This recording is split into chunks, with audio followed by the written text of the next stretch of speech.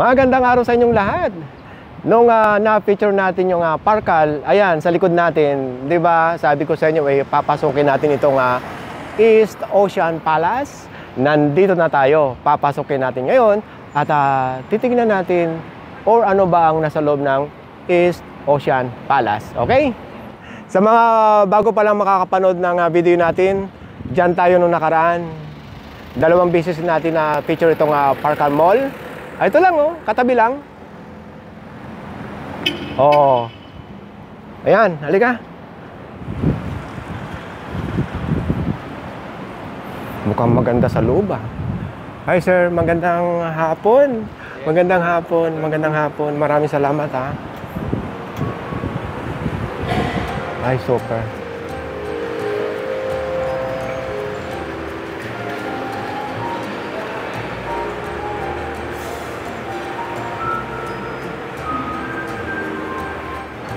Ang ganda.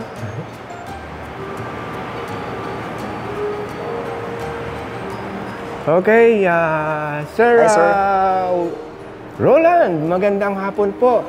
Eh, ano bang ah, meron dito sa East Ocean Palace? Ah, marami sir, Ah, masasarap ang pagkain dito sir. Ah, lalo na yung specialty namin ito na lobster. Sige, sige. Meron sir. kaming ah, main dining, ah, VIP rooms, ah, function rooms. Ah, bali capacity namin ng function, function room namin sir is ah, 1,700 people. Ah, malaki Tapos yung VIP namin almost ah, 24 rooms ata sir. ha? Nababanggit mo nga laging ah, ah, VIP. Pwede rin ba kami mga ah, ordinary or mga regular customer na kumain dito? Pwede naman sir, kaso may minimum po tayo sa VIP sir. Ah, may Ah, po, minimum. nasa 30,000 po ang per table po. Okay. So, meron namang ah, ah, buffet dito? Ah, wala po kami buffet dito sir. Ah, main dining lang po kami sir at VIP. Tapos function room, Ah, a la carte. a la carte po. Okay. Meron din ba nga elevator dito? Bakit sa second sir, dito po sir sa kabila sir. Okay, sige. Kaso nga lang sir, ah, hindi po siya naka-on. Ah, hindi naka-on. Naka-off po siya pag mga ano, pwede tayo maghagdan na lang tayo sir. Ah. Or dito is elevator. So, ibig sabihin, mag-on lang siya pag may reservation. Yes, sir. Katulad natin mga VIP. okay, so yun. Saan ba na tayo natapos? Hanggang a la carte lang kayo, ano? La Pero mayroon doon sa third floor, function room po. Ah, ito ba yung mga function room? Ito? Ah, ito, kasama na yun, sir. Ay. Pero dito yung ang- ano namin, sir, ah, kumbaga office po, operator po. Okay. Sige, bago tayo pumunta doon sa main dining, ano ba mga minimum na presyo ng mga VIP, ah, VIP room dito? Nasa 30,000 po per table po, sir. Ilang ah, faction? Ah, depende po, sir, kung ilan po kayo, sir. Ilan na magkano po yung pinakamurang ah, consumable? Consumer. Basta umabot lang po siya ng 30 plus po. Okay na po yun. Ang pinakamababa ay Wala, kasi 30 plus po, ah, 30 po yung pinaka-minimum niya, sir. minimum. So, eh, Wala na siya mas mababa pa dun. so, ibig sabihin, ang ah, pinaka, yung 30 30,000 na yan, ilang tao nga ba ulit yan? Depende sa sir, kung ilan kayo, or anim, walo, lima. Ah, halimbawa, mga dalawa lang kami, 30,000 30,000 pa rin nababayaran. Oh, depende sa sir, kung ginusto niyo yung pag- Ah, okay. Sige. Dito ba, hanggang saan ba ito? Hanggang dito, ha, may hagdanan dito, sir. Okay. Pwede tayo umakyat, pwede nyo silipin yung third floor. Third floor, sige, sige, sige. Samahan lang kayo mga kabayan, ha? Tapos, ano bang tawag Kaso may dito? nagsisit up dun, sir. Okay Ah, lang. May event kasi mamaya, eh, Ah, ganon. punuan mamaya. Ay, ito, ay, ganito ba kalalaki ang mga Ito yung mga maliit na function namin sa baba sa second floor po. Tingnan natin. Ito, namin ito na- ba yung 30,000? Ay, hindi po ito, sir. May, ano po ito, sir? Minimum po per table. Ah, per table. Ang, ang minimum po na 30,000 na sinasabi, sir, yung pang isang room na VIP po. Ah, okay. Ito ay pang event. Event po Wedding, ito. birthday, Wedding, at kung ano-ano pa. O, pang maliit lang po. Oh, Pero sige. sa pangmaramihan doon sa taas po. Kasi clarify ko lang ha. Sige yung pang ah, 30,000 na yon, yung pwesto lang ba o consumable? Pwede nyo silipin, sir, yung isang room po. Hindi ibig ko sabihin, Ah. yung presyo ba ng 30,000 na yon ay yung, ba consumable o yung pwesto lang? Consumable din po, sir. Ah, consumable Pwede na yun? yan, sir. Ah, okay. Sige. So, ibig sabihin, mga kabahan yung 30,000 consumable. Hmm. Okay. So, dito sa taas ay hindi na air condition. Dito, sir, ah, ito yung pinaka main function namin sir na malaki. Ah, ito. Oh, kasya siya ng 100 ah 1,700 na katao. Ah, ibig sabihin, pag halimbawa may ah, wedding, pwede rito, no? Mm. Maramihan. Mm. Ang ganda dito mga kabayan. Sandali, picturean ko lang ha. Ayun. Magkano yung, ito yung pinakamalaking ah, pwesto ng ah, event. Opo. So, dito sa third floor po. So, ang, ayan, laki nga, oh. Pero magkakaiba atas lang ngayon yun, sir. Bahay walay-hiwalay po.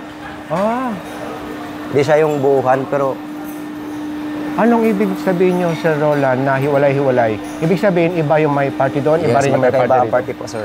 Pa- Paano kung nagsabay yung tugtog? Ah, yan. Hindi naman masyadong nagkakariligan kasi may harang naman po yan, sir. Ah, may harap. May partition po. Oo. So, pag ganito malaking event, yung pwestong binabayaran or ah, per table? Per table po. Per table? Ayan. O magkano ba ang per table na yan? Sa, halimbawa, 2, 4, 6, 8, 10, 12. Ang... Depende po yan sa usapan ng nagpapareserve sa manager po. Oh, mukhang ah, mura ba o mahal? May, mayroon din kaya, meron din na tama lang din po. Ah, sige mga kabayan, meron silang ah, website saka Facebook page. Ilalagay ko na lang ah, para sa inyong mga katanungan. So magmula dito, ah, Sir Roland, hanggang ah, ilang room itong ah, for function? Hanggang ABCD yan, sir eh. Ah, ABCDE. Oh. ah lima. Lima, sir, lima. Oh. So, yung limang yan na mga function room, ah, Sir Roland, so, ang pagkakaiba lang niyan, yung laki. Laki po. Okay, saka yung presyo. Yes, sir. Okay, halika. Ah, doon na tayo sa fine ah, dining. Dining sa La Carteria po. So katulad nito, hindi umaandar yung escalator saka yung elevator kanina. Katulad nung uh, pinanggalingan natin may function, eh aandar ito. Eh, lahat, sir, under po yan. Ah, okay. So yun, social. Pagka meron kayong uh, event dito, lahat magpa-function. Kailan ba ito nag-open? Ah, 2018 po to nag-open, sir. So ito na. Ito na yung pinaka-fine dining, Hmm. dining po. na mga halimbawa sa a la carte. Opo, a la Carteria po. Oh, ang laki nga pala, ano? So dito ay maski weekends or uh, weekdays, ah pwedeng uh, walk-in saka reservation. Opo. Oh, yan mga kabayan ha. Ah. okay. Anong oras ba ang open ito? Bali, ang open po talaga dito, sir, 11. Pero yung mga empleyado po, alas 10 po ang pasok po. Ah, ang close sa, gabi. Ah, sa gabi, sir. Depende yan sa pag-out ng mga customer, sir. Ah, ibig sabihin halimbawa nga gusto pang kumain ng mga customer eh, Gusto mag-stay. mag-stay hanggang madaling araw, Pero pwede? yung, oo, pero yung ano na, ah, namin, sir, yung luto ng pagkain hanggang 9.30 lang po, o 10, ganun. Ah, yung last call. Last call po. Okay. Sige. Kung halimbawang may mga katanungan kayo, ilalagay ko yung uh, kanilang ah, Facebook page, saka yung ah, website ng ah, nito nga, nitong ah, East Ocean Palace sa description ng ating video. Sir Roland, maraming maraming salamat sa Maraming salamat din po. At na napakalaking tulong nito sa ating mga kasama sa galaan. Thank Okay? you po. Thank you, thank you. Ingat lagi. Thank you God bless. God bless you. So yung mga kabayan, bago tayo bumaba or uh, umuwi, eh, ipapakita ko muna sa inyo yung mga menu. So ito yung mga special uh, dish nila.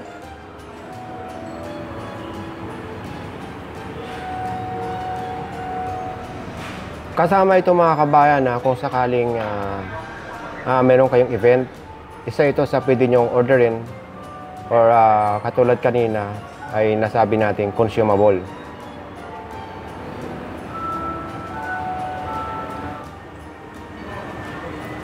Hindi muna tayo kakain mga kabayan ha. Kayo lang muna. Babalik na lang tayo.